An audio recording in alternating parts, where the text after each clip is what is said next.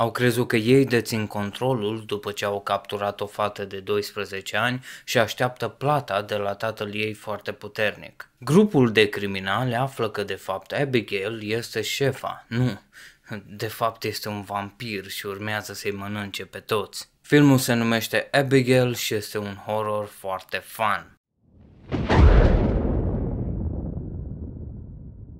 Nu am avut un interes pentru filmul ăsta când a apărut în cinema, dar am dat play într-o seară și a reușit să mă surprindă. I'm sorry about what's gonna happen to you.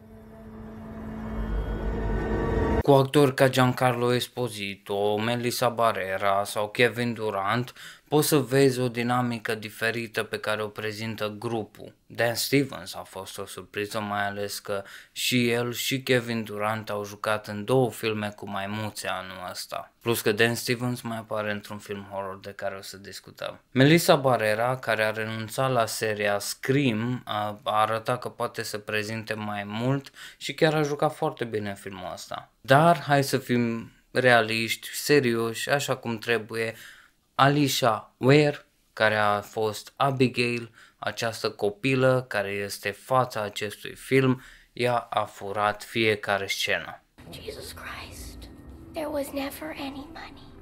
Atunci când vorbește din spatele gratilor, când dansează, când se furișează prin spatele cuiva sau când devine full vampire demon.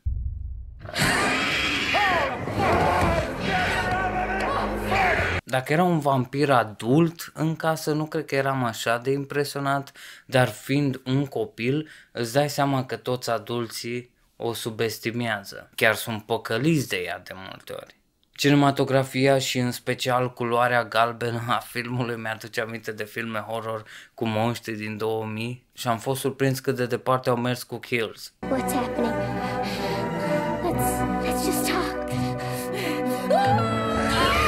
Filmul ăsta nu reinventează o formulă sau nu îți prezintă ceva nou, câștigă la faza asta cu Abigail, care este o balerină și toți adulții nu o iau în serios. Ei cred că este un easy job. Mai câștigă la dinamica grupului care sunt acolo doar pentru jobul ăsta și nu se înțeleg tot timpul, dar n-au un cotro. Și sunt legit câteva scares mișto și situații foarte mișto. Povestea nu o să te țină la marginea patului să te întrebi care e de fapt treaba cu balerina asta. În schimb, spre final au fost câteva întorsături de situație cu Joey, personajul jucat de Melissa Barrera, și Abigail, unde am zis ok, chiar dacă știți că este așa de liniar, safe filmul și fun, totuși voi vreți să încercați ceva aici. Apreciez. Machiajele sunt ok, efectele CGI sunt ok, nu e ceva vizual care îți, nu știu, strică experiența, dar nici nu o să te facă mai curios. Dacă este o problemă, faptul că nu au adus foarte multe momente noi um, în genul ăsta cu vampiri și oameni contra vampiri, încât să spun că trebuie să-l verifici, știi? Tot ce vezi în filmul ăsta o să ți se pară oarecum familiar cu altceva ce ai mai văzut. De la direcția machiajelor, la direcția killurilor, până la atmosferă. Ceva ce a fost mai drăguț și ieșit din tipar a fost tonul ăsta de comedie adăugat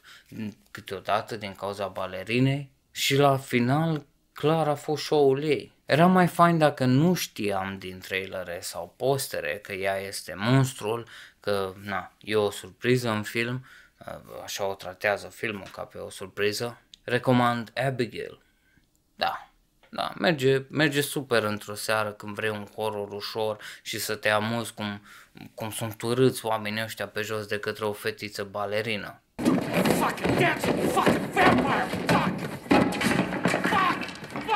Aceasta a fost experiența mea cu filmul Abigail. Care este a ta? L-ai văzut? Vrei să-l vezi?